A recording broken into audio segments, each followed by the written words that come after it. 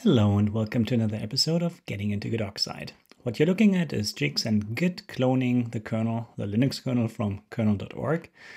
And it's now speeding up here at eight times the, the normal speed so that this ends a bit faster.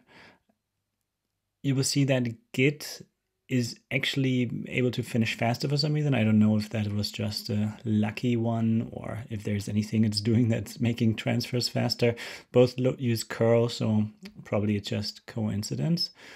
And because that's happening, Git is now already resolving objects while gix is still uh, fetching data. So resolving objects or resolving deltas is a very time consuming process as we'll have to decompress all the 10 millions or more than 90 gigabyte of data.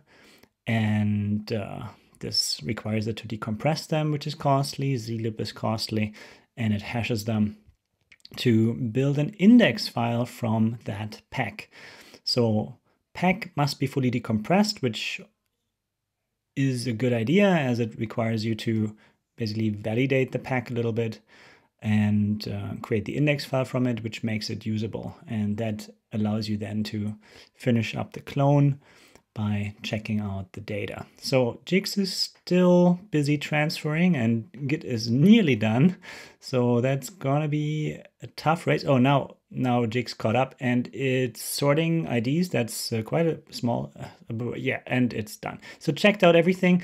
Uh, it's a 32 core machine and that really scales well with, with uh, gix, whereas, or gitoxide, whereas Git only uses three cores instead of 32, so it takes much longer.